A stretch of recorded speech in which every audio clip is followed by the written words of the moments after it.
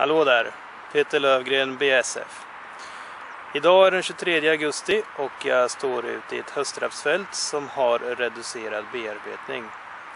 Rapsen har kommit fram lagom i första örtbladstadiet och spillsäden kommer fram i ett till ett och ett halvt blad.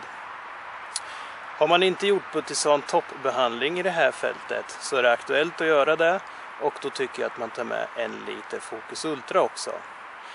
Spillsäden behöver vi ta bort tidigt för den konkurrerar kraftigt med rapsen och det gör att vi kan få en eventuellt sämre vinterhärdighet i det läget.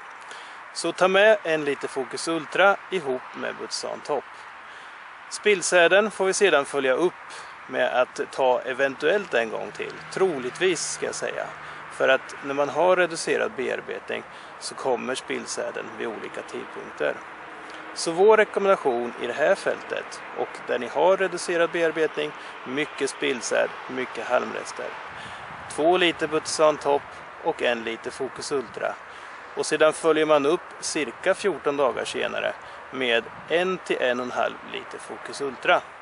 Det är så att du har sått din höstraps i normal tidpunkt med kanske en plöjning som eh, bearbetning så är vår rekommendation att köra Butson Top så tidigt som möjligt. Och anledningen till det är att ju tidigare vi kör ju lättare är det att få bukt med stora ogräs såsom baldersbrå, lomme, blåklint.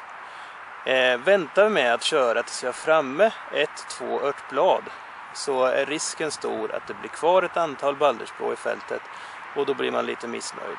Så se till att göra behandlingen så tidigt som möjligt med Butisan Top i dina fält.